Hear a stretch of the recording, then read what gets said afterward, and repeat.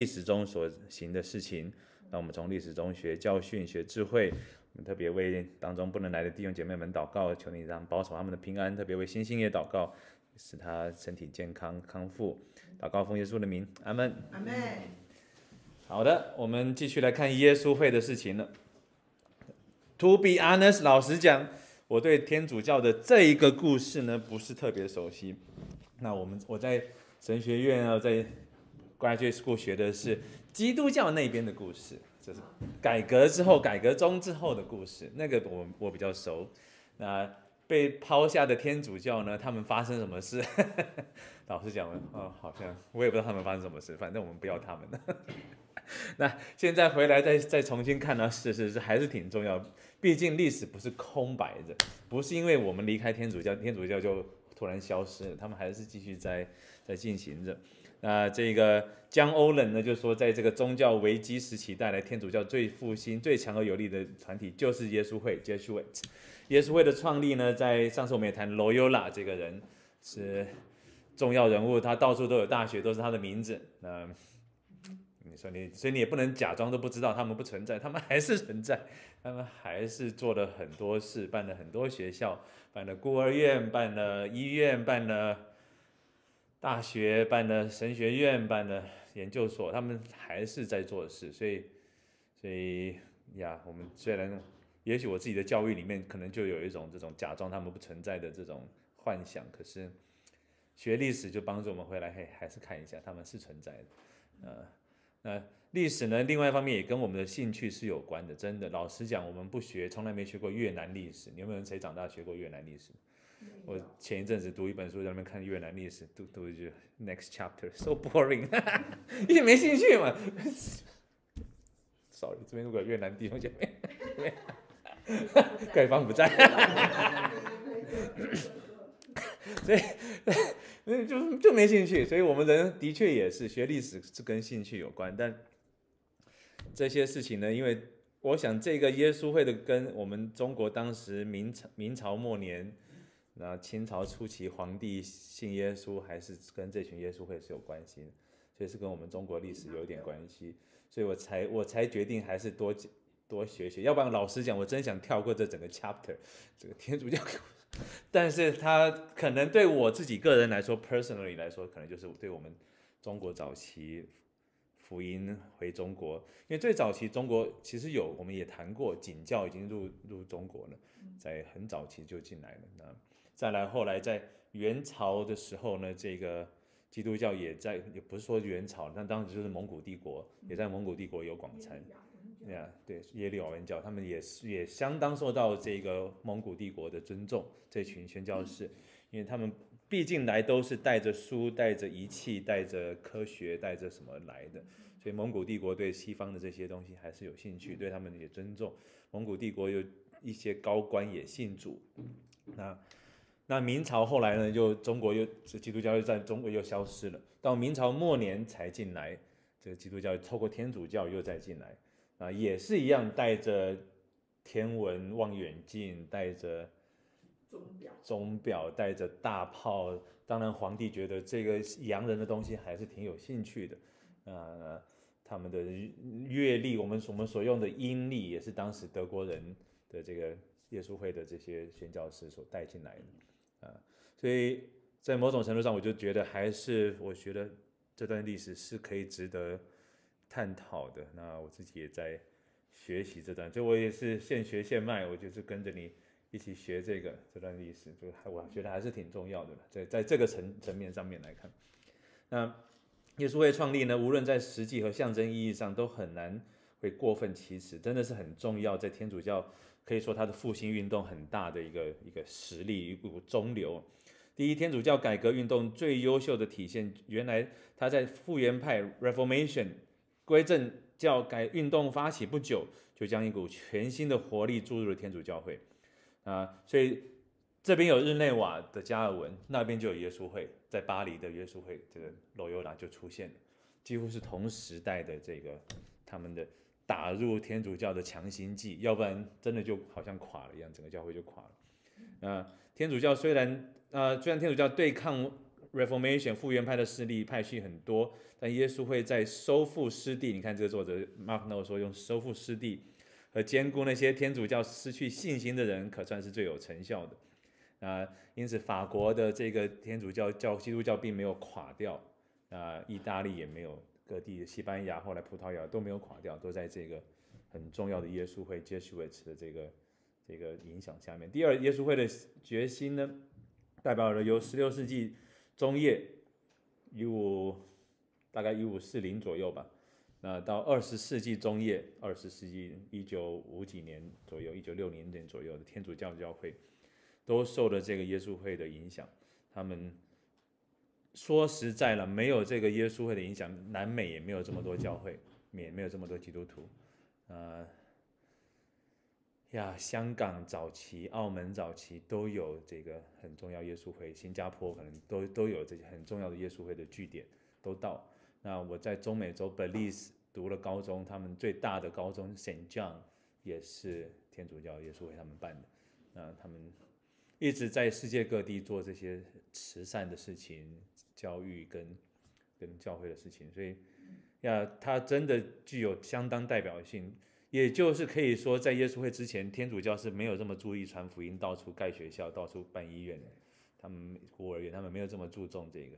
在欧洲，大部分就在欧洲，那因为欧洲一大半被给归正教给给归正宗拿去了之后，他们就觉得我们不行了，不能坐以待毙，所以这耶稣会也也立刻兴起的这个很大的一个改革，是内部的改革，那。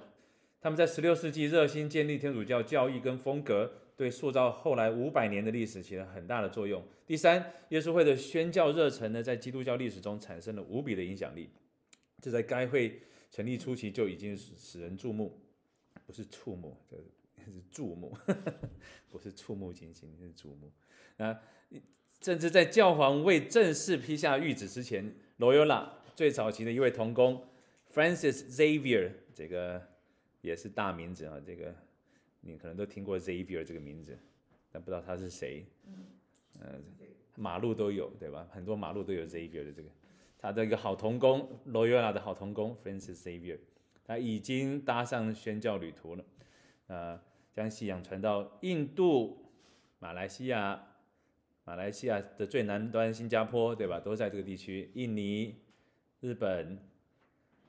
日本已经那个时候，后来产生了日本对天主教的大逼迫，也是这个 Xavier 的影响之下，耶稣会的影响之下，啊，日本的那个逼迫呢，相当历史相当相相当凄惨，也相当有趣。他们彼此之间这样的这个逼迫，那他们通常也是都是扣上政治因素，说你们这个境外势力，然后日本那个时候逼迫耶稣会的这些信徒，甚至叫那个牧师说。你若不放弃信仰，我就杀你的信徒。是当时是日本，日本是这么来逼迫日本的基督徒的。啊，那那个牧师最后他说我怎么办？我他他很难过。他要是他不是死自己对吧？是死他的羊。他要是承认主，他的教会弟兄姐妹被杀。他说我不承。那我不承认主，那他们还信什么？就是很其实很纠结。后来这个有其中有个牧者，我看过他一些忏悔录，他真的就是放弃信仰。他说我为了这些人放弃信仰，但是到底对还不对？他就一直活在这个很大的痛苦里头。呀，所以日本后来整个天主教突然一下就萎缩掉了，就在这个强大的逼迫底下啊，这个天主教的整个影响力就突然一下就连根拔起拔掉，直到后来的这个美国的炮艇外交。把门给轰开之后，基督教后来又才进来，但一直都没有很在日本一直没有产生很大的影响力。日本那日本一直没有一个大复兴的一个历史。韩国有，中国山东有，嗯，河南有。日本的北海道那边有没有？好像一直没有很强烈的这个。北海道不是主要的一个岛。对。他们那个四大四大。本州啊，是，所以在日据时代的这个这个二战时代的日本帝国呢，它里头就的残暴性就比其他的基督教帝国主义的残暴性是强的，它它是有一些区别的。被日本占领的国家是从南洋的这国家到台湾的都都会比较强烈的排日，会有一个很奇怪的情节，有台湾有亲日跟排日的同时在里头。那呃，但被别的国家西方国家占领的那种强烈的那种羞耻感反而是比较少的。大部分的国家被西方占领过的，它就像印度好，你被英国占领过，他们到今天没有很仇恨英国，你那种感受是很奇特的一种，对吧？反而印度人去当英国总理了，对吧？对，我们把总把英国拿回来就好了。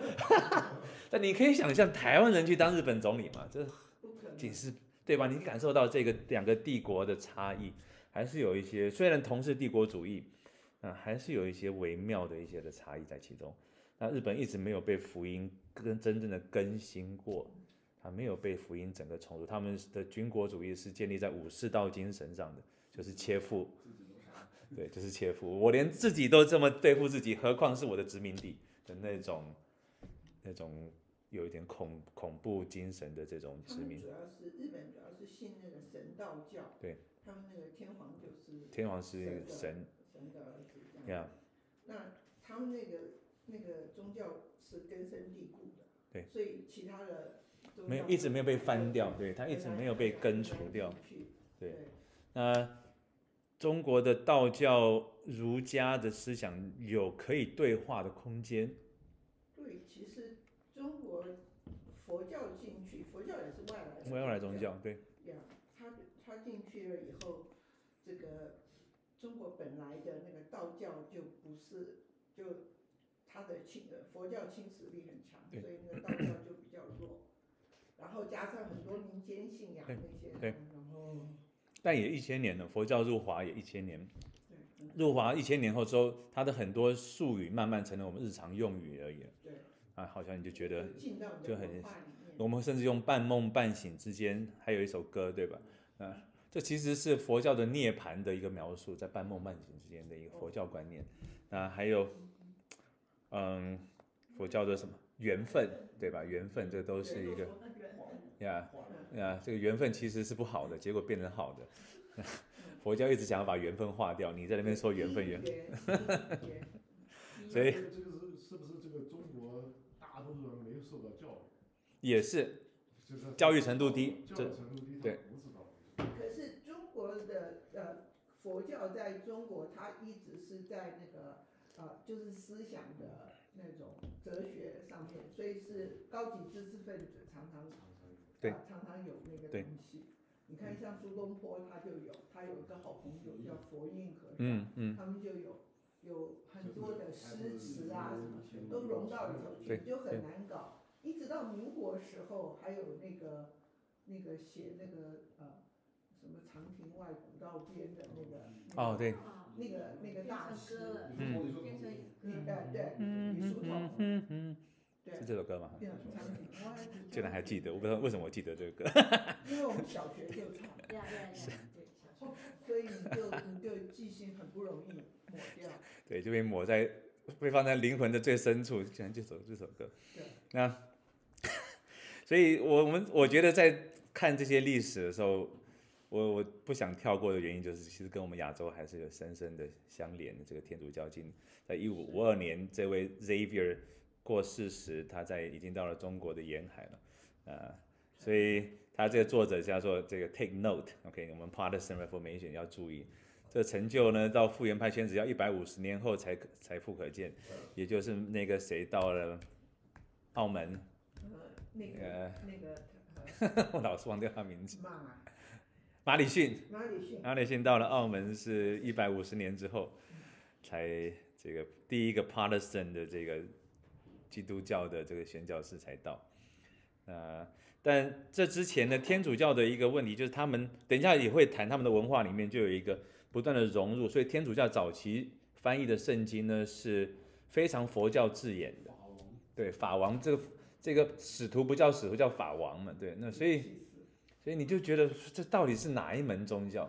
是耶稣法王之类的这个，他 那这些词呢，就让你觉得，这个好像是印度来的，但又不是，所以它没有真正产生一个 distinction，不够强烈的一个划分。所以我相信呢，我相信这是我个人的看法，当然你可以反对，就是我觉得天主教一直在做这种所谓福音预工的工作，上帝一直用他们做一个铺路的一个，让你大概知道有一位神，他名字叫耶稣，他妈妈叫做玛利亚，OK，大概知道这些事，然后基督教才进来说，是他妈妈叫玛利亚，但我们不拜他，我们是只相信耶稣之类的，我觉得好像是上帝的手在历史中的一个铺陈，他总是有一个开路先锋。那这些开路先锋好像是天主教的，是的确是比较多，在南美也是如此。天主教早期去开路，然后后来的基督教才起来，进入了所谓的这个更更多的读圣经没有没有那么的强。对。那天主教一直有这种跟当地文化融合的东嗯西，对他他说你你要拜也可以，你要拜祖宗其实也可以。他们那时候闹闹闹到最后，其实天主教没有真正的定论。那中国皇帝是不爽的是，我为什么还要跟那个远在天边的那个教皇申请什么东西？我是天朝皇帝，我还跟教皇申请拜祖先。他呛到，我也呛到。对，康熙就把他们就把这些事情就谈不拢了。那天朝皇帝受不了，我需要有外国势力来管辖，是这个是政治问题，不是拜不拜祖先，那只是那个表面问题，真正的深层问题是政治问题。中国的教会，如果我康熙皇帝信主了，我上面就还有别人管我，所以他一直没受洗。其实有一个真正深层政治问题，我上面就有人可以告诉我怎么活，对吧？因为天主教，我们也学教会历史，一直到今天就是，你皇帝要登基是要教皇来祷告的，要来高抹的、加冕的。OK，以后我儿子康熙的儿子要上上当皇帝，还要远在天边的这个教皇派特使来加冕，我们成了 Christendom 基督教帝国，所以是有政治问题的，永远都有政治问题。我们不想谈政治，但是永远有政治，就连疫苗都会变成政治问题。戴口罩都有。口罩都是政治问题，所以我们不想谈政治，但永远是政治问题，这是很讨厌，就是这个。那你躲不掉政治，你是躲不掉它的，它就是一直困扰在那儿。那那但基天主教就这么进来的，不论如何他们进来的。那在英国复原派中呢，British 呢两百五十年后才来。更重要，耶稣会在十六、十七世纪的宣教对二十世纪末的教会特别有意义，他会慢慢会来解释这个，因为该段历史呢在欧洲孕育，现今散布全球。那教皇的确是真的有具有全球影响力的一个人，到现在，那那他的确是，他可以到他的飞机可以到哪里降落，那里的人就会欢迎他，几乎几乎大家都给他面子，老实讲，都买他的账。呃，教皇要是来参加我们的什么的，还是一个政治影响力相当大的。嗯，唯一可能不给他面子就是中国。那今天还是还是梵蒂冈跟台湾建交，一直没跟中国建交，还是一个政治问题，就是主教任命的问题。中国的主教为什么要让梵蒂冈来任命？不行，这是跟当年康熙一模一样的问题。所以中梵一直没有建交，美国的主教是梵蒂冈。梵蒂冈任命的，都是对对都要。每一个地方的都是天主教是这样。所以那别的国家不在乎，你们宗教搞你们的，我们政治搞我们，不是那么在乎。那我也敬你三分，你也敬我三分。美国总统历任好像都见过教皇，连川普也见。教皇那时候不太不太想搭理他，川普有点摸了一不一鼻子灰，对那种感觉，他还是去了。不论如何，他还是去了。拜登也去了。拜登当然嗯，拜登天主教徒嘛，所以他，所以你说不重要，他还是到今天那，OK，这个是全球宗教的领袖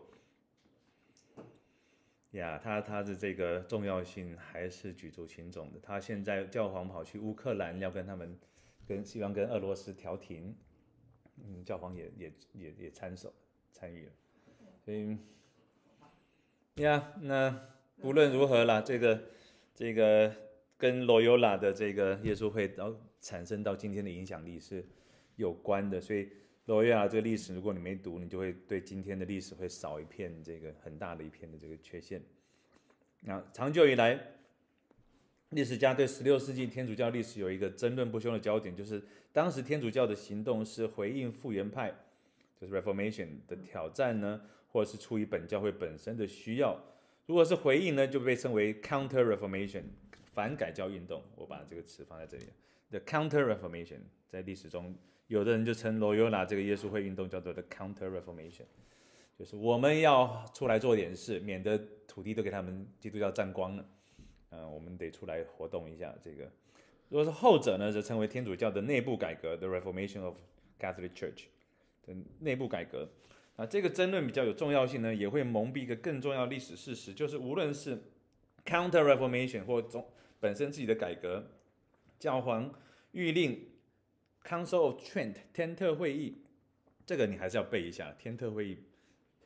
Trent Trent，这个大概知道一下，他们在宗教改革之后最重要的一个大会，啊，正式宣判阴性称义，相信阴性称义的人该下地狱，该受咒诅的，啊，这是就在天特会议 Council Trent，啊，啊，宣布我们这些阴性称义教跟着路德走的这群人是 Anathema，这个可咒可诅的，就是那个。保罗用的那个“若有人不爱主，那人可咒可诅 ”，anathema，啊，就是那个词。所以他称我们这些跟着路德走的阴性诚意的教会是可咒可主的。呀，那现在他们虽然不断的想要在那边把它弄回来啊，说我回家了，你们这些信徒回家，可是他们一直没有废除 Council Trent 天特会议，所以这个教会。Council 呢没办法废除的时候，其实天主教的这个定性还是定在那里，就是我们这一群是异端，我们是离家出走的孩子，嗯，他们才是这个神学当然很深了，我们今天没办法谈这个神学，这个阴性称义的神学，这个呀以前讲过了，现在不能不能再讲这个，对但我们到今天是被这么批判的，是这个被定性为异端，是可可受可主的。啊，所以这一段整个时期呢，呀，不容易忽略掉它。它真的到今天定义了今天的天主教跟今天的基基督教。另一个改革的例子呢，是一五二零，你记得哈，一五一七是路德，一五零一七是路德。那许多修会，那一五一五一五年几是也是明朝末年，都是那都是那个时代。呃，那个明朝开始李自成，嗯，后来明朝是开始末末年嘛，末年嘛，没错嘛，李自成打进北京，是一五多少年，都是在他大概这这这几十年之间的事情。那，那这个崇祯皇帝自杀，什么，这个都是这些年代中国的改朝换代，欧洲的这个大。翻转大变动，通通这是全球全球五百年好像来一次的这种东西，大洗牌。哈 哈呀，别想了，这个我也无法预测未来。但是就是这种全球，啊，就是因为就是这样嘛，就是受不了这个既既有既得利益者，我们要把它推翻掉这些东西。嗯，这些开始许多新修会，一五二零年。这些修会呢，跟罗约尔这整个都都后来的相关都有关联。他们所关注的跟 Protestant Reformation 一样，只是他们采用了天主教所接纳的方法，就是内部改革法。他原来跟他就是走路德的路线，但路德后来读圣经，而他们是不读圣经，他们只是继续回到了这个修道院的方法来处理教会更多的问题。啊，Benedict 我们那时候讲了本尼迪修道院，在第六世纪。到第十世纪呢，有这个 Clony 克吕尼修道院，在十六世纪呢，就有许多人对教会的另外的其他的进前运动。Clony 呢，我去查了一下，这个到今天还是，今天法国现在变当变博物馆了，但它这个也是兴盛了大概六百年的重大修道院，非常大的修道院。Clony，嗯。就是后来的模型，现在上面的这只剩下来这个，剩下来的这个修道院的变成博物馆了，嗯，之前以前是相当于这个围墙之内所有的都是他的修道院，这边他们自己种田是自给自足的这个修道院。嗯，呀，基督教的全天主教的全盛时期在十世纪的时候，那十六世纪呢，就是开始有新的这些修道院出现啊，出来策动内部内部改革、机构内改革、组织内改革。那路德原来也是希望组织内改革的，后来被轰出去，因为他讲的东西实在太离经叛道，什么因信称义，那我们教皇放哪里？啊，这个，那这个其他的呢就没有，其他的组织内改革呢，就是希望透过灵修、祷告跟这些其他的行善的这些力量来继续来从内部改革，所以这是天主教那边的内部改革，其中最贡献最大的修会呢，就如耶稣会。在意大利半岛之外的耶稣会，呃，新成立的修会所强调的重点，从默想、默观的生活 （meditation） 到积极参与社会服务运动，所包含的这个范围就极广了。他们非常强调行善。到今天，我有跟你讲过，到今天在联行最大的接待难民的组织还是天主教的。比如说有一一票难民来找谁，还是找天主教的。啊，他们的这个组织是相当。呀，多年的这个耕耘经营的这个一代又一代的，而且他们的所有的负责人都是修士，修士是不领薪水的，所以这个组织很容易继续下去。OK，这个上面可以再派一个人来继续来来支撑的这个施工。啊，天基督教的比较比较慢一点，就是因为我们牧师要有薪水啊，牧师有家庭啊，然后这个主要也是。天主教的他们的呃他们的敬拜比较重视的是那个仪式，对对，OK，只要仪式好就好了。对，那个仪式，所以你重视的是那个气氛，那你去学怎么样把那个那个那个呃什么杯子举起来啊，饼拿出来，这诸这些东西比你去学神的话要难得多。对，因为路德本来就是去学那个神的话。然后他要是解经博士，他才有资格解经。所以，可是他们天主教他们念的很多的那个词，都是给没有受过教育的人很容易就 pick up 的，就是反复、反复、反复的这种这种啊重复的话。念词、祷告词这些经文，对，就整个是一个气氛，是一个那个仪式的点香、吃饼。相信。上帝的恩典是借着圣礼，就是仪式来传都传传播，不是像我们认为上帝的呃上帝的真理是借着他的圣言话语啊，上帝的恩典是借着他的话语来传播，这两个是不一样的。OK，一个是圣礼，一个是话语，这两个不一样。谢谢双文姐的复习，这是我们以前都谈过的哈。是，我我觉得这很重要。对。就是说，从就现在当今现在来讲，天主教还是认为基督教是异端吗？在他们的公会里面还是的。一般的弟兄姐妹可能也没也没那么强烈的感觉呢。如果你碰到弟兄姐妹天主教的这个信徒，他也没那么强烈感受。但他们的这个，甚至他们的神父都可能不见得有这么强烈的感受。但他们的最高的这个组织上面的这个明文规定是的。教义上，教义是的，对那我们现在好像 说天主教是异端吧？现在。我们的教义还是说，我们的教义也是说是一端。如果你严格的照，你照着海德堡教理问答的教义来看，是是，他们是异端的。一一般来说，我们的会众和我们的牧师比较不那样子说。比较少这么说，我还是可以这么说，我还是可以更正式告诉你。The Catholic Church is a false church，是伪教会，它不是真教会。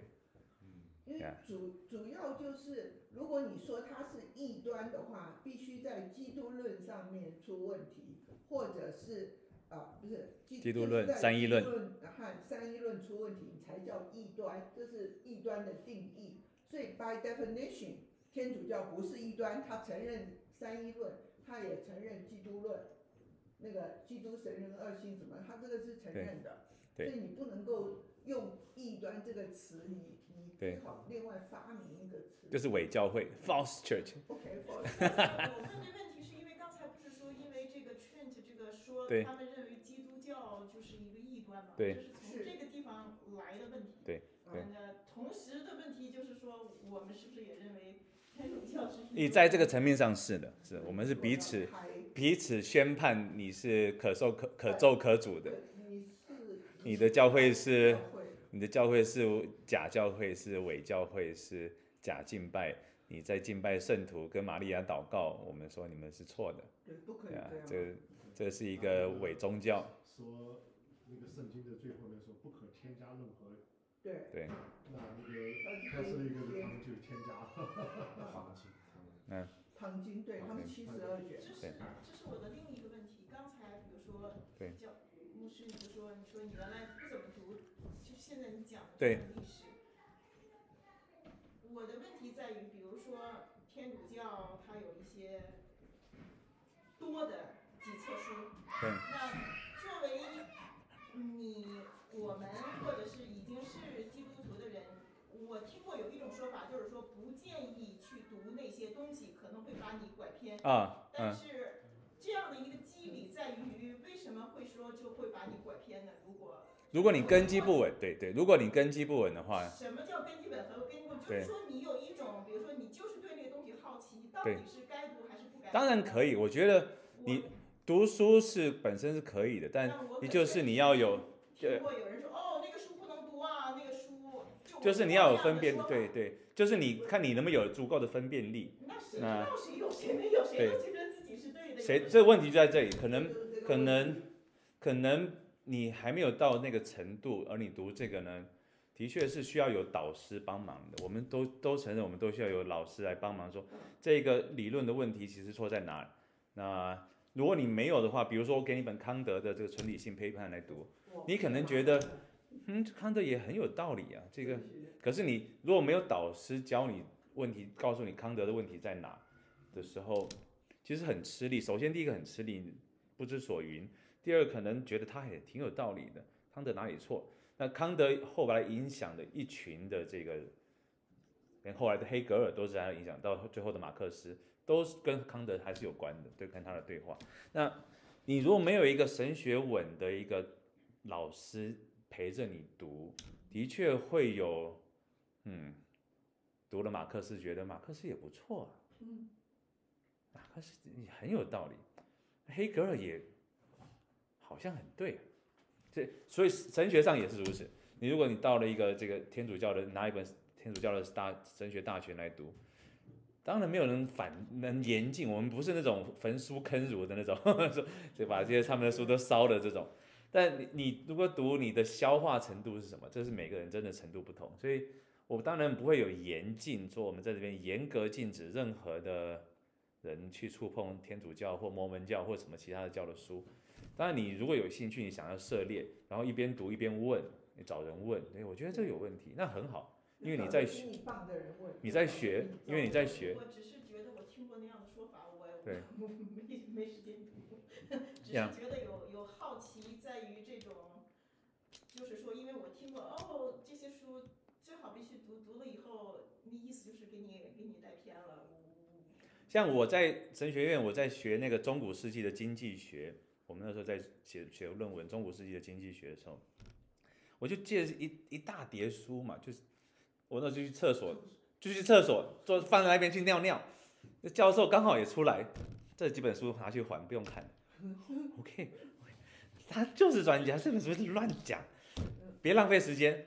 那有导师就是这样，他说你是可以去读，你再花三十个小时去读这些书，是读读出来你的结论还是错，因为早就有人结论他错了。对，所以你就是在这里。那所以有一个导师帮你的话，你可以省很多时间，其实就是这个。所以他不是，当然不是说你你一定不准读，你读了你人生就灭亡，不是。但不是，但你的这个学术研究，有限，OK，用你有限的 resource，你花在那上面不值得。像有些小说写的很好，我可以告诉你，那你不值得花那么多时间去读那个。实验也是一样，科科研也是一样。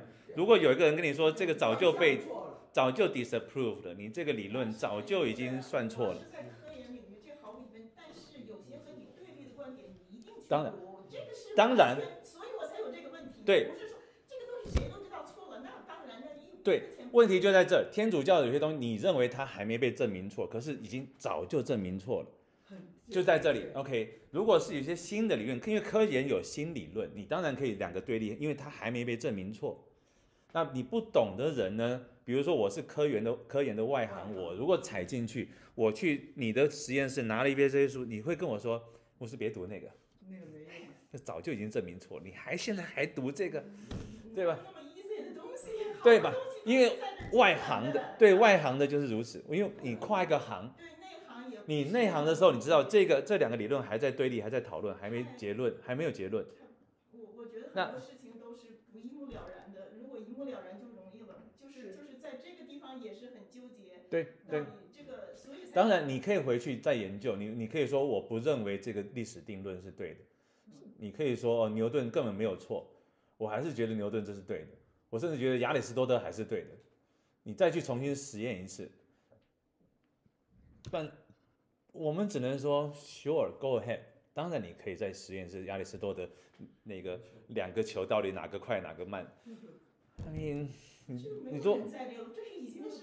因为因为已经定论了。对呀、这因为没有人。神学也是如此，有些东西已经定论了，啊、已经有几千页的篇幅，几百个学者做出的各种定论，就已经这这是错的。那当然你可以说，I don't know，I'm I'm not so sure about this。OK，书在这儿，是在这儿，你可以还是可以去读他的东西，但就是今天为什么没有人好好研究亚里士多德的，就是这老家伙真的过时了。对吧？他很多理论有漏洞、有错误，它是 speculation 自己幻想出来的东西。那神学也是如此，我们对阿奎那的一些定论已经定了，有些东西他是错的，自己神学大学也写不下去了。他自己也写没完，写写没没写完，神学大学没写完。那我们对阿奎那这十二世纪的重要学者，那我们基本上已经定论了，因为已经有一千将近八百年的这个讨论，已经差不多定论了。所以神学就是如此，它每其实不是神学，每个学科都是如此，它有一个是这样，就对是我觉得哈，很好多东西，就是你只能就是说，通过读书和和和和专家或者是你对认为的导师认定了对是错。那你作为一个 individual 的话，我我是觉得你这一辈子最多提提出一个问题怀疑，然后你去研究证明这个就够一辈子的，对就够一辈子。如果你什么东西都想去弄的话，你什么东西都不会。对那有些东西是很 obvious，我自己同时也常常碰到，尤其是从医学院来的学生，嗯他要到实验室来跟我说他有一个重大发明，哎，他来讲的，完了我都会耐心的听他讲他的重大发明，听完了我会告诉他，你这个东西早就被人做过了，我会告诉他去查哪个文献做过，因为一对本来就是这样有一个对一个初学者来说的话，你要来说，呃，都想要做一个重大的发明的话，你这个是有点天方夜谭。你太晚了深入是呀，研究了一对某一项东西，研究了很长时间的时候，你可能能提出一个问题来，然后你就这一辈子去研究去，可能都不一定能研究得透。所以呀不能够就是说事事都怀疑。哎呦我在科研上这个东西遇到太多了，这个这个这个实验室，呃，我哎，你那么聪明，你早成那什么了，怎么可能啊？这这这种事情我见的太多了，因为我也工作这么多年，比如说。就说哦，方法能不能把这个，我们就是做做做 产品的嘛，能不能把这个产品做出来？心想要有那么容易？哪那么容易对哈？哪有那么哪那么容易？早就发财了，还等你来做？就然后你还有一个隔行如隔山，隔行如隔山，就是这个。隔一点点东西，你像我我们那个 physiology 就不同的做不同的 neuroscience，对我对他们 neuroscience 的时候，他们讲出一点点东西，我都真是就就就就头抖音。然后你就像那个宋林他的那个 chemistry 的东西，就他做的东西，我读了半天我也搞不清他在做啥。对真的就是这样。我连我们神学院都是这样，我们神学院都隔行如隔山。我是读历史神学的，有一个历史神学的博士，那个他的 defense 我去听就很开心。有一个是 moral theology 道德神学你搞不清楚谁是，I have no idea what you're talking about，我不想不想去听你的 defense。I have no idea，真听不懂。他还是神学院的，没办法辨别，就是我就我不知道你在讲什么对就是一隔一条一的话，你就辨别不出来谁。哎 Oh, hello, and uh, my name is Angela. Chris told me there is a study at 1:30. Is that Yeah, yeah, right? this is here. One third. There's another study too in Isaiah. Another one. Yeah. With the little kids. We look family kids. Yes. 那么是突然有既然来，既然今天又讲到这个天主教的话，是对吧？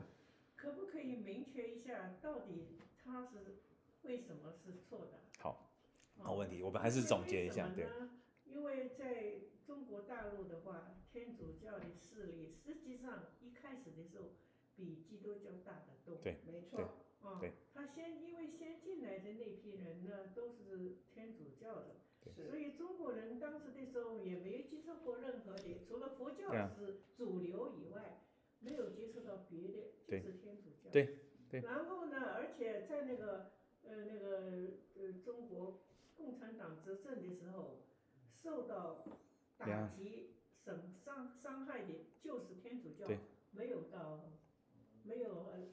天基督教也有也有也也有也有也有这是没有那么严重。对呃当时有的时候，因为我们这个这天主教的事情，正好当时是进大学的时候，那那个那个什么，不知道你们这听到没有？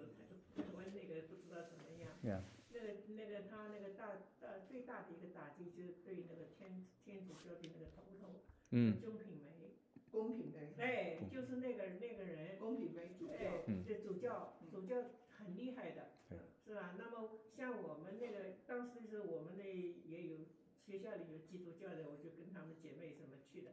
但是我们也有同学，他就是天主教的。对对然后呢，在在那那个情况下，像我们那些同学的，就天主教的同学，等于就是反革命，他给你加了个帽子。对对后来我们还去参观很多，对就是关于中品梅这个嗯这个什么罪行啊，什么什么的。所以我们在脑子里面呢，呃就是在在中国那些青年学生，他根本从来没有接触过，不懂。对。他就认为这个呢，就是很坏很坏的一个。但是但是后来就接受我们对对那个同学生那么那些年轻人接受的呢，还是基督教。对。所以所以呢，后来天主教就下压下去了。对。那是一开始他确实占领的那个地方啊，你到各个地方去啊，都有天主教堂。对。而且都住了很多，嗯，老百姓都是很跟的，就是这样的。除了佛教以外，对叫先跟的就是那个天主。很容易跟呀对最大的差别，我觉得他们，你如果要真的要用最简单的方法讲，就在对罗马书的解释，这个罗马书，二十七节三章二十七节，这是这样，哪里能夸口呢？没有可夸，用合法没有呢？是用立功之法吗？不是，是来用信主之法。天主教是立功之法，它的它的整个的这个上天堂的法门就是立功德、积功德。你自己的功德不够呢，还有圣徒的功德算给你，还可以跟他买的回来。你可以用各种方法买到其他圣徒的功德，他有一个功德宝库，OK，它可以提去提钱提款，他有一个提款方法，使你可以用功德换功德，得到更多的功德，最后使你上天堂，是立功，是行善。那行善本来没有错，行善本来是好的，但是不能拿来上天堂用。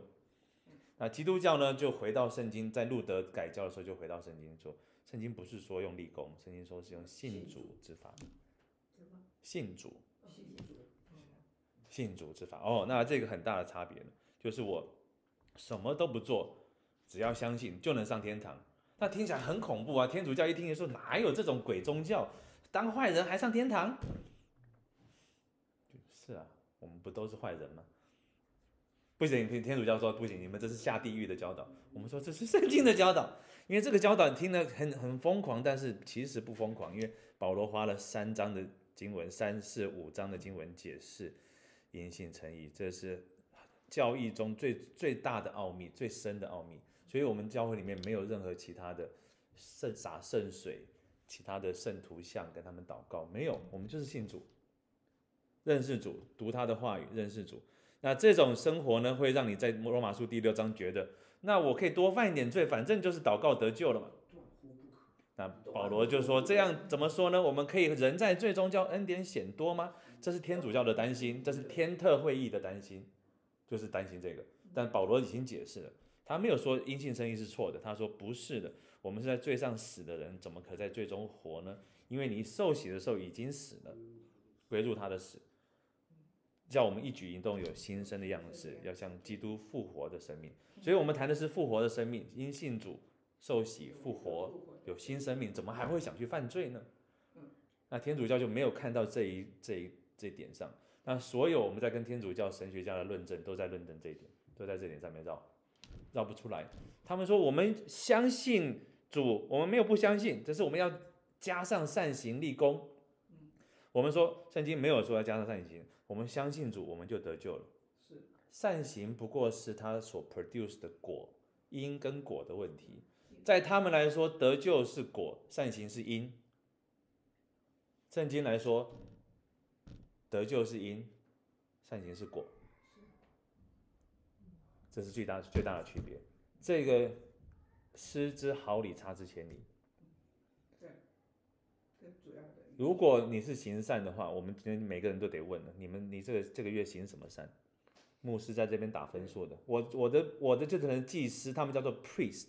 不叫做 pastor 是有原因的，因为我要替你把你的功带上去的。我有一个我有一个重要的承接法，但圣经的牧师没有，我只是在你们当中做榜样。我们一起来祷告，一起行天路，这是不一样的。这是你跟上帝的关系，我是陪你一起行天路的那一位。可是天主教的 priest 不是如此，我是你跟基督之间的桥梁，没有我你到不了基督那里去的。没有我，基督的恩典也不会给你的，圣徒的功德也临不到你身上，所以我我有很大的 power，我可以 manipulate，我可以玩的，我可以听你告解，嗯，然后你代表上我代表代表你，然后代表上帝，所以基督教没有这个没有这个东西的，因为是你相信主而得救，你已经得救，你这个月没行善。你自己跟上帝认罪悔改，我只能在你当中做榜样，我就是继续在这里与你们同行天路而已。我没有操控你灵魂的权利，我没有。那天主教的祭司有的，他那个 priest，所以他们常常黑手党不敢杀杀祭司。你看电影就是黑手党 mafia 呢，要要开枪打，还不能打到 priest，要免得 找人告解都没地方了，那不好，那不好。所以他们还。墨西哥，你看到有些电影，就是他们对 priest 还是有礼让三分，就是你我们干坏事还得有人替我烧香烧香认罪，对吧？这个那 pastor 没有，我们没有这个没有这个 power。所以你的那个 life insurance 要高一点。所以那所以这个问题呢，是我们跟天主教最核心的，其实核心的核心。那他们不断找我们谈，希望我们能够谈出一点。我们说这个核心问题没有改变，咱们两个立场没有变，一个是立功之法，一个是信主之法。所以他们有圣徒嘛？有圣徒替你立功呢。对，那个功力很多，还可以留很多给其他的人。对啊。像 Mother Teresa 德蕾莎修女行了这么多善事，救了这么多麻风病人，她一个人也用不完这么多功德，剩下就存起来，大家一起用。你跟他祷告，所以他们可以跟，所以跟你跟 Mother Teresa 祷告一下，他就拨你一点，就 就是这样玩的，他们是这样玩的。所以他们那个我就觉得很怪，就是他们在那个 Vatican 他那个店里面摆了好多那个过去的圣徒的尸体。对呀，他他的骨头啊，他什么都还在那。就整个的，就是干枯了的尸体放在那个对对。所有的 cathedral 一定要有两个东西，第一个要 bishop，因为 cathedral 的东西意思就是座位的意思。第二个呢，要有圣徒的骨头，relic，一定要有一个谁谁谁的骨头，那你这个地方才够神圣，要不然叫做佛教的什么舍利子也是跟舍利子是这一样的观念，都是立功执法，对吧？不知道谁跟谁学，真的不知道谁。不知道谁跟谁学，但这种东西圣经没有，就是对，这种互相东西文化交流，不知道谁谁抄谁的，可能基督教还是早一点，嗯，可能不会，基督佛教佛教是公元七百年前啊，呃但舍利子的观念什么时候来的？舍利子那个呃，是佛祖吗？还是到了公元公元五百年？佛教有很多佛经是后面对写的，可是他借着前面人的名字，所对以不知道像像他有佛说舍利子什么那个什么，公元五百年到中国一个很大的重要的佛教宣教士、佛教大住持，突然忘了他名字，很有名的，写什么好像《金刚经》还是谁他他写的，他也是公元五百年，他有很大的这个对佛教著作的影响，那是五百年，所以我们这到底谁影响谁？当然你可以去考证了，舍利子的来源跟圣徒骨头，啊、以前的圣徒真的一死，他的骨头被四分五裂的这个这个这里一根那根一根指头，那根一根指头，大腿的在这里，就是就是，因为你你的卡迪佐是开起来才有这个正牌感，这个叫做，要不然你要冒山寨牌了，这谁哪有谁能都能开这个卡迪佐呢？卡迪佐要上面认证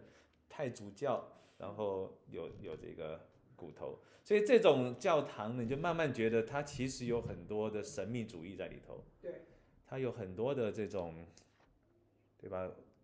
圣水 （Holy Water） 洒在你身上，啊，各种的香，他点香替你祷告，啊，各种的法术，它是 magical 的，它是法术的，它的那个 hocus pocus 那个 那个圣饼变成耶稣的那个身体，祷告以后就变成它举起来了之后，这就不再是饼，而是基督的身体的时候。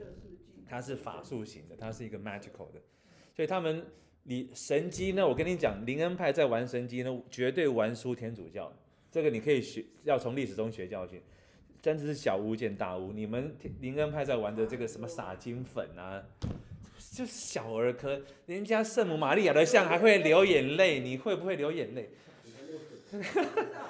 圣母玛利亚像会流，有的是流血泪的，真的有的。OK，当然我讲的那是笑话，那个是有一次在这个欧洲那个波兰的哪里，那个说那个圣像在流泪，结果是上面楼上的马桶坏了，都是大家还去接圣水。当然这是笑话，OK，这是这是胡闹一下，但他们真有像会流泪。我。在那个呃意大利看那个桑桑弗朗西斯的那对个教堂里面，对。它那有画像，还有记载的，他就讲到这个桑弗西桑弗朗西斯这个人他在一天布道的时候讲到的时候，然后他就掀起来他的那个乐衣服肋骨上面有那个钉钉刺刺的那个刀的痕，跟那个耶稣是一样的。那耶稣的那个也没人看过，他就说他他就是跟那个，哇对啊当时的一下就轰动了他这个。十传一传十，十传百，立刻就是这种。所以你要跟他们玩法术，玩真的是你小法师，他是大大法师宗，教仪式感。你玩这个他你玩不过他的，他们太厉害了，是几圣彼得教堂座堂，圣彼得大嗯，大座堂对，圣呀呀，圣就就他们说那个彼得就是在那边对啊遇害的，对，然后他的骨头是埋在那边，对，看，这也不知道是不是，呃，对但可能是据说可能是。可能是对。嗯，所以可能是可能不是，我们不太确定，但可能是吧。就算是，就算是好了，那那也没有什么特别。对，那个骨头真的有那种功效，你去拜就有除罪的功效吗？没有啊，只有耶稣基督的宝血有除罪的功效嘛。这个所以就这个东西你要跟着经文来的，你没有经文的根据。所以天主教永远有朝圣，基督教永远没有。对，你要知道有有这个差别。我们没有朝圣，我们就是在这里读经祷告，圣灵就充满我们，与我们同在。那他们有他，说两，耶稣自己说两三个人在一起重新合一的对祷告，与你们同在他就与我们同在，所以你不用去那里。不用去朝圣的。对。啊，当然你去观光可以，我不反对你观光，观光去观光，你不要以为这来这边比较圣洁，祷告才才才通天，那你就你就搞错了。啊你去观光，呃去观光，去去学历史、学人文，这个我们不反对你，但你以为在这里在 Lansing 祷告没用，要去那祷告才有用，嘿嘿，你就搞错了，你彻底错了。呃，去约旦河洗约旦河洗礼，对吧？对，约旦河洗礼才算。这个牧师在这边点的水不够，哎就是玩这种朝圣呢，是就是所很很明显的民间民间宗教的那种迷信所带出来的一种这东西。是我们人永远认为我要做些什么 Yeah 上帝才会喜欢我 Yeah, yeah. 才会得神的喜悦。这个这个东西整个就是一 Yeah. 个迷失。所以我们在谈这个天主教的时候也好，我觉得今天再把它再重新复习一下也是重要，因为我们不想把它妖魔化。OK，我不想把他们妖魔化，就是把敌人妖魔化这种作为是其实比较比较粗粗暴的手法。很简单，他们都是下地狱的魔鬼。当然当然可以讲这个很简单的话，但我们知道他的善良的地方，他的邪恶的地方，他的对的地方，他的错的地方。我们知道他们是我们的属灵的 cousin 吧，我不敢说 brothers，但至少是 cousin 吧。那 那我们跟他们算是 step brother 好了吗？那也是一个大家庭出来，大家族出来。你要知道，这是我们毕竟是一个大家族。我们在公元一千五百年之前是同一家人，在五百年前是同一家人，啊，后来吵翻了，就是为了因信称义、信主之法这事情吵翻了。啊，之后呢，两边各各称自己才是主耶稣真正的教会，那，对方不是，嗯，这个争执并有并没有结束，这是我们要清楚知道的。那所以宗教改革的一直的口号就是回归圣经，回归圣经，你自己读，OK，罗马书你拿去读，你思考，这是不是圣经的话，还是神人的话？这是牧师讲的话，还是哪个主教讲的话，还是神的话？这是基督教一直有一个这个回归圣经，Go back to your Bible and read yourself。我今天早上讲到也有这种这种恐惧感，对吧？我不要来这里画蛇添足，耶稣的话你自己读，我尽量不要锦上添花讲一些其他不重要的东西。嗯、你这是你跟主的关系，这是主的话，你自己读。罗马书也是如此，这是主的话，你自己读。啊、你受的高等教育有一个重要目标就是读圣经，是不是赚钱，是读圣经。赚钱不读书也很好赚，很多不读书人赚钱赚很多的，你 别别小看他们。但是读书最重要的是使我们能够读圣经，自己来思考。他那个环环相扣，罗马书是环环相扣的一个一个哲理一个哲理的。讲完讲完这个话之后，你懂的话就会出现这个问题，他替你解答这个问题；懂的话，他就出现另一个问题，他就替你解答另一个问题。它是一个非常哲理性非常强的一本书。嗯、路德就是读了罗马书后翻了，他说这怎么搞的？教会怎么变这样？原来圣经是这么说，教会怎么是这样的？所以这是我们呀，我觉得基督教可能最大的就在这里差别。你读圣经，好好的读圣经，你可以不相信任何牧师老师，但你一定要好好的读圣经。他到底是不是这样讲？你台上讲的牧师是不是照着这个经文讲的，还是他编出来的？画蛇添足，弄得喧宾夺主，这是我我我觉得我在讲马太福音特别特别有这个感受，因为牧这个耶稣的话真的很好像完美了，就没有好像在讲的。对，我还能讲什么？这就是这样。我只能替你解释一些你可能有误解的地方，也许吧，这就是我做的事情而已。所以，呀，这个是我们我觉得你仔仔细看的话，是跟天主教最大的差别。嗯，我们也有行善，但行善不是换功德，行善是我们应该做的，上帝本啊来是报恩那个那个教理问答，海德堡教理问答直接说，我们不是来换恩典，而是来报恩的。Out of thankful heart，因为我得了恩典，所以我报恩而已。好吧，今天讲到这吧，二十七。Yeah。回去慢慢打。对对对，它也有英文版 Mark No Church History。那这这个英文版好像比中文版的稍微薄一点。可能图片少，图片少。可能可能中文呃有时候翻起来没有那么那么简单嗯明明了，但是总要多几个字。Yeah 还有注解。好吧？有没有别的问题？我们有一本，我们那边有一个教义教义的图解啊的，我不知道是在哪里，反正是在图书馆里面那个教义图解里面有很多有讲到基督教跟天主教的不同，有这个这个这个这个这个一个表，你看了就非常明白。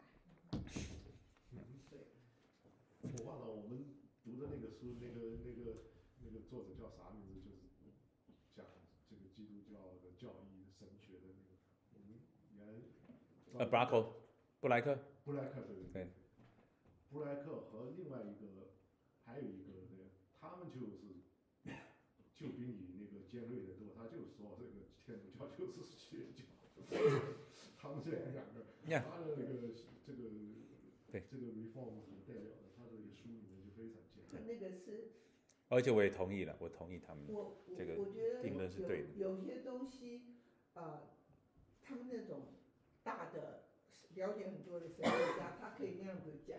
可是像我们的话就要小心，因为我们接触的人就是一般的，也许是有天主教背景的这个基督徒，那你你很容易一出来，他不懂，你也不懂，两个人都半懂不懂就就就就撞了。我觉得我现在都回想起真来的，，我我们以前那个宣道王志会就有。勇，王志勇来我们这儿第一次讲的时候，讲到这个时候，哇，我给我们教会掀起了然 后我事后还专门跟他就说，你以后要瞪大一点，不要这么。对，我我们我们的宣道会也是有一个弟兄，他就公然的就说天主教是邪教，OK，然后下面有好几好几个是天主教会来我们教这边的，哇，他他真的就翻了。然后我那时候在做那个什么，做那个会有物执事，我，老天，我接电话接到手软，他就跟我讲说，怎么可以说天主教是邪教？这么大的一个五大宗教就是有他，我的天，我好惨，我就说。呃，这个我不懂，我信主才两年，你们搞我做这个，我信主三年。呀，呃，今天天主教跟两百年前的就有一点区有别，不一就有一些区别。第二次 tender 会对议嘛？对，它有其他的一些修正有些，东西它已经收回了。对，它有一些东西是说伽利略的那个 日心说、地心说，对那个两个球那个伽利略的，不是。不好意思再再用那个了所以它有一些的东西些，东西收回了。那那个理论是亚里士多德的，但伽利略去做实验用，实验做实验出来。所以。呀，这现在天主教你也发现 BSF 里面你们去有很多天主教徒在在读经的，是所以给他们留就是给他为什么我们留一点空间，就是不要把话讲那么绝，在今天这个时代。我里头是同意这些改教家的这个定论的，是没错。天主教教会还是一个伪宗教、伪教会，没有错。但你每天在生活中的这个很多天主教徒，他是来陪你一起读圣经的，BSF 的同学，对吧？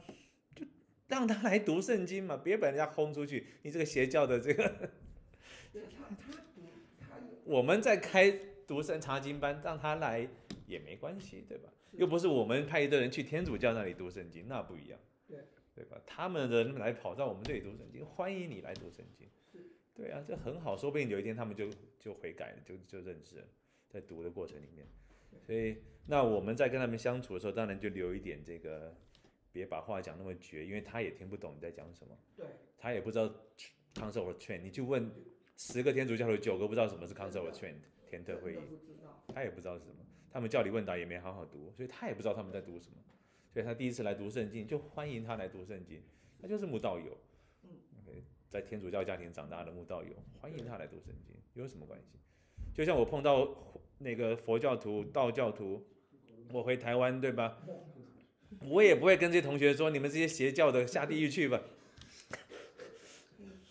我要吃饭聊天没问题，我们跟你陪你陪你慢慢聊，对吧？这个有什么有什么没关系？这耶稣也跟罪人一起吃饭，有什么关系？这别别把话讲那么绝。但你说在教育上、哲学上、课本上面，我们要说道教是不是邪教？是。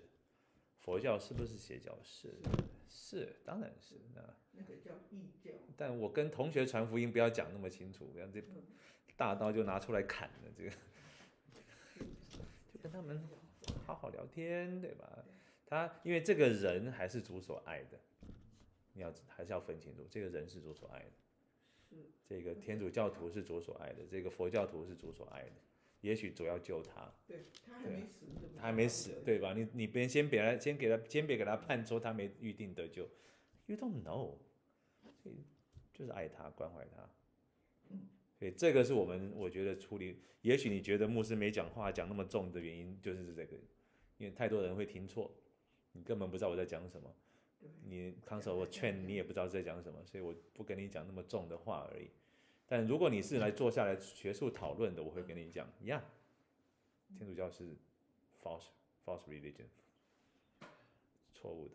不会这样。嗯那你这意思是，它可以跟那个摩门教，哦，摩门教就是异端了，对。在某种程度上，两个都是带人下地狱的，两个都是带带人下地狱，一样的。摩门教是在是在那个呃呃呃基督论上面出了大问题，所以对，所以他是异端。对，摩门教我甚至连 step brother cousin 我都不愿意叫，这就是异端。那天主教算个 cousin 吧，算一个。他不能够。同东正教也算 cousin，呀、yeah,，也算 cousin，因为他们一直没有在阴性称义上面表态，他们根本连表态都没表态，他就是嗯，I don't know what you guys talking about 那种表情。OK，以简单分啦，东正教是很注重那个 meditation，注重你跟神的呃耶稣基督的 personal 的关系，OK，默想借默想借这些，然后天主教是借仪式，所以它的恩典的来源。啊、呃，是同一个耶稣基督，可是方式不同。一个是借仪式给你的，一个是借你的跟神的关系、默想这些来的。那我们是借着圣言。所以，哎呀，真的，我就用天主教最喜欢的彼得跟他们来替他们评论吧。就是他们要自取自取灭亡，自取沉沦。这个彼得说，彼得后书说，正如我们所亲爱的兄弟保罗。照着所赐给他的智慧写的信给你们，他一切的信上也都是讲论这事，心中有些难明白的，就是罗马书。老实讲，就是罗马书最难明白，就是罗马书。那无学问、不坚固的人强解，如强解别的经书一样，就自取沉沦。OK，这是这是彼得的判断。你如果罗马书搞错了人，你就是下地狱的。嗯，他要你防备。啊就是有些人会跟你说，你这个书不要读。就是要防备，恐怕被恶人的错谬诱惑。Yeah. 因为那个听起来真的很不错。那、yeah. 似是而非的东西，有些东西是似是而非。那天主教的东西会让你有一种神圣感，因为你在行善，你在捐款，你在帮助孤儿，你在办小学，你在办教育，会有一种让你觉得我是高尚的人。Feel good，会 feel good，会 feel good。那问题就在于你其实没有真正信主，你只是在参加一个仪式而已，你在做一个行善的仪式。那行善的仪式，你就跟老实讲，跟摩门教没有什么巨大的差别，跟佛教也没什么差别，跟道教也没有什么真正的差别，都是行善得救。Anyway，只是摩门教还比那对，还把那个我们的传统的诗歌唱得很漂亮。对呀、都是基督教的。对呀、都是我们的诗歌。对呀、所以你如果没有真正的因信称义，你只是参加宗教仪式，那每个宗教其实都差不多了。嗯，你就是行善，做好人，emotion，对吧？就是做好人而已。嗯，你要小心 emotion，骗你骗得很惨的。但只有基督教谈的是一个这个因信称义的信主之法，这是最难懂的，真的是最难懂的就是这个，他一下子就就漏掉了，他像泥鳅一样滑，因信称义，以为抓到了又没了，因为我立刻就回去按律法生活，人就是这样，又去行善，然后这个礼拜不行善，又觉得愧疚感，然后又来不好意思聚会了，然后，呀，下课，下课，好，我们祷告，下课。主耶稣，我们谢谢你，让我们讨论这些信仰核心的问题，也在历史中的问题，看到你好像没有完全抛弃天主教，好像还有当中有一些你所拣选、所爱的人。主，我们为这些人祷告，让他们能够真正认识你，从这个错误中出来。主，我们为可能 BSF 的同学们，各种我们碰到了天主教的朋友们，都为他们祷告，让他们认识你。真认识保罗书信所谈的这个因信主而得救的方法，呃，不靠行善，不靠美丽的这些仪式来使人感觉良好。主，你求你把这样的信心赐给我们所有人，我们在座的也是如此。求你的怜悯保守，祷告奉耶稣的名，阿门。阿谢谢